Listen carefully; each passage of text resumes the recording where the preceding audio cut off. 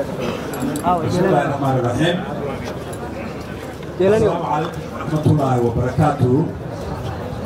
ku dhowaad afartan cisho oo laga dhursugayay magacaabista golaha cusub ee xukuumadda federaalka soomaaliya ee wasiirada ayaa maanta waxaa lagu dhawaaqay xubnaha cusub ee golaha wasiirada oo ka kooban wasiir wasiir ku-xigeen iyo wasiiru dowle ra'iisul wasaaraha xukuumadda federaalka soomaaliya mudane xamse cabdi barre ayaa sheegay in la tashiyo badan uu geliyey xukuumadda cusub ee uu soo dhisay islamarkaana uu ugu magacdaray xukuumadda dan qaran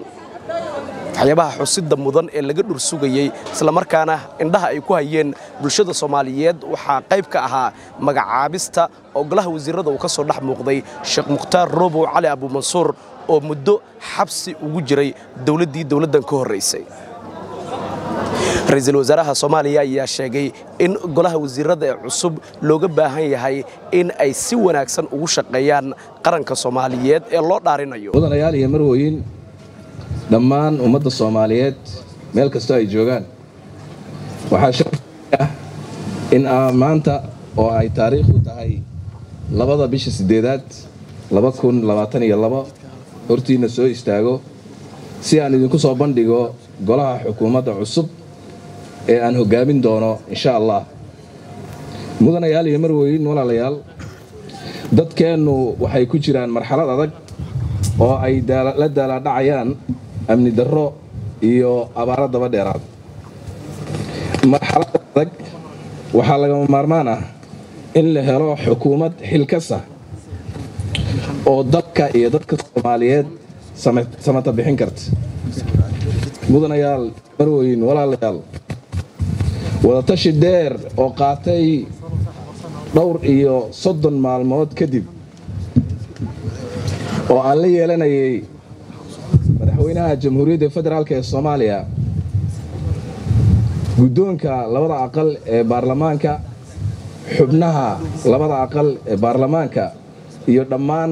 qaybaha kala duwan ee bulshada soomaaliyeed. Waxaan ku faraxsanahay in aan soo bandhigo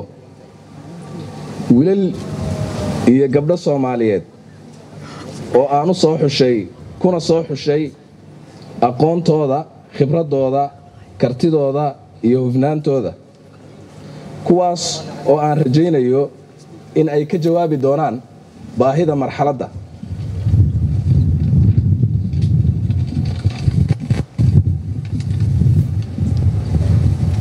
Waxaana rajaynayaa in ay ku guulaysan doonaan soomaaliya cusub ay dabba cusub u jeexaan. Ayagoo oon aaminsanahay inay hirgelin doonaan barnaamijka weyn iyo aragtida weyn ee madaxweynaha jamhuuriyadda federaalk ee soomaaliya oo halkudheggiisu yahay soomaali heshiisa dunidana heshiisla waxaan si xushmad iyo karaama ku dheehan tahay uga codsanayaa golaha shacabka ee sharafta leh in ay ansixiyaan xukuumadda cusub oo aan ugu magacdaray xukuumadda dan qaran iyo barnaamijka oo aan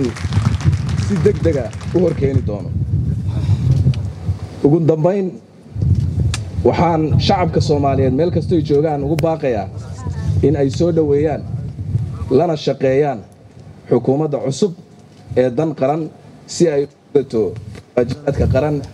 ee culayska badan aad iyo aad aad u mahadsantihiin wasalaamu calaykum waraxmat ullah intaas xasan kaafi xaaji maxamed xarunta looga arrimiyo xukuumadda muqdisho. Shirkadda hormuud telecom waxay macaamiisheeda u samaysay qiimiyo dhimis ballaaran xirmooyinka internetka iyo kaarka ku hadalka ee adeega anfac balaas xirmada cusub ee labaatan iyo shanta senti waxaa laga dhigay afar boqol oo m b iyo toban daqiiqo oo ku hadalka gudaha ah halka xirmada bointy five kana laga dhigay siddeed boqol iyo konton m b iyo soddon daqiiqo oo ku hadalka gudaha ah. Xirmada halka doolar waxaa laga dhigay laba g b oo internet data ah boqol daqiiqo oo ku hadalka gudaha ah iyo konton fariin qoraaleed. Laba doolar waxaad ku heli kartaa shan g b oo data ah laba boqol oo daqiiqo oo ku hadalka gudaha ah iyo boqol fariin qoraaleed. Shan doolar waxaad ku heli kartaa laba iyo toban toban g b shan boqol oo daqiiqo oo ku hadalka gudaha ah iyo boqol iyo konton fariin qoraaleed. Toban dollar waxaad ku heli kartaa labaatan iyo sideed g b oo internet data ah kun daqiiqo oo ku hadalka gudaha ah laba daqiiqo oo dibadda ah iyo saddex boqol oo fariin qoraaleed ah. Ugu shubo e v c balaaskaaga xidig toddoba labaatan iyo afar xidig nambarka xidig lacagta afar gees ama kaarka ku hadalka xidig boqol labaatan iyo lix afar gees kadibna raac tilmaamaha.